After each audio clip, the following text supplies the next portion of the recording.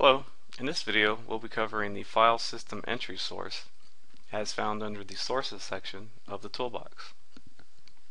The file system entry source provides metadata information about files found in a particular folder. For example, uh, in a certain folder on my system I have four files uh, and I and the file system entry source gives me certain metadata about the, uh, each file. So for example, I can get the file name, the file name without extension, the extension of the file, the full path of the file, the directory the path uh, of the file that is contained in, uh, whether or not the file is read-only, the size in bytes of the file, when it was last accessed, when it was last modified, and the hidden and system attributes as well. To configure the uh, file system entries, I can right click and select Properties, and that'll bring open the Properties dialog screen. The first thing you'll notice is the path uh, to the directory that you want to uh, read from. To change the directory or select a directory, click on the icon of a folder icon here, which will bring open the Browse for Folder dialog.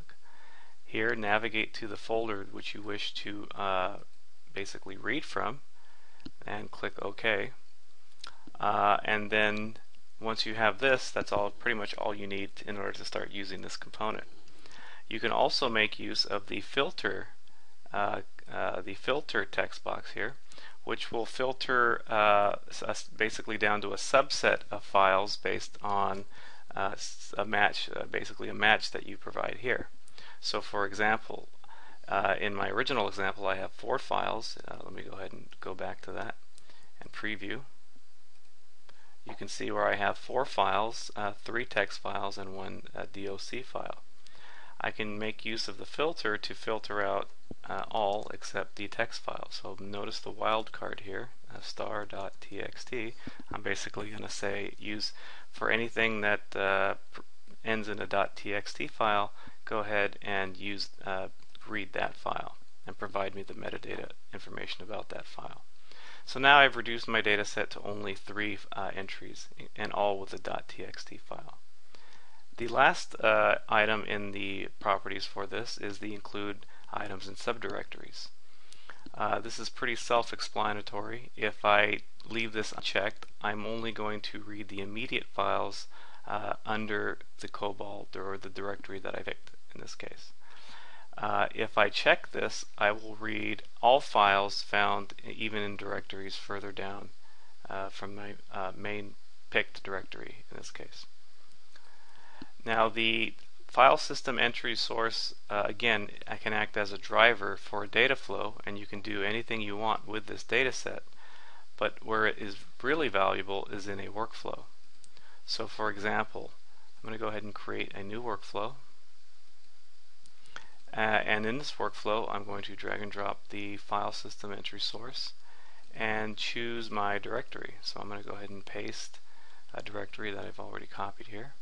Click OK. And the first thing you'll notice though is that the background of the layout here is yellow.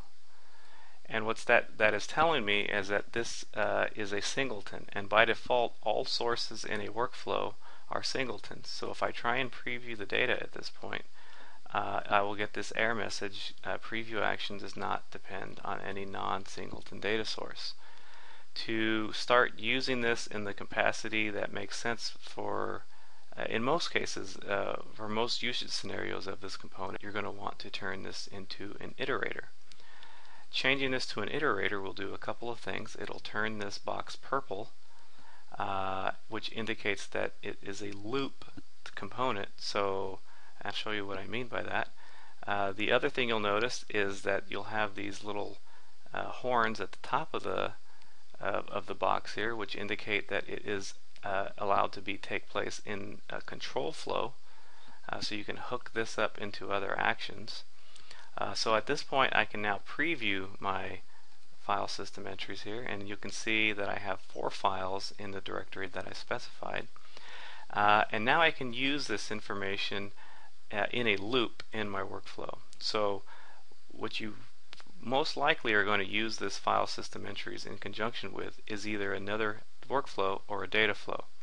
So I'm going to go ahead and demonstrate an example of this in conjunction with a data flow. So I'm going to go into workflow task and select the run data flow uh, workflow task and configure this to pick a specific workflow task that I'm looking for. So I'm going to go ahead and actually not that one, this one and look for my reusable flow here and click next and here you see that I have my parameters uh, that I have for this particular data flow, including a source file and a destination file. Uh, what I want to do is I want to run this particular data flow, uh, and here you can see where I have my delimited source file here, and I want to change the source file depending on whatever file I'm reading from the particular folder. To do that, I'm going to make use of the, the parameters in Centerprise, select everything, and use the parameter syntax. So I'm going to say dollar file system 1 because that's the name of my action that I'm going to read from, and then dot full path because the full path contains the path that I'm going to replace uh, with the original uh, source file path with. So now I'm going to click OK and connect this file system 1 to the subsequent run data flow 1. So here you'll notice the double line in the workflow.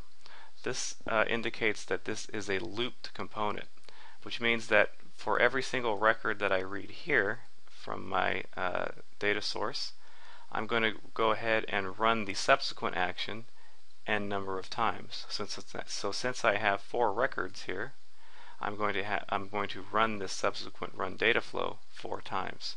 So if I go ahead and click this run, you can see that uh, in the progress of the run data flow, I've actually run this data flow uh, four separate times. So this is how you use the file system entry source uh, in Centerprise.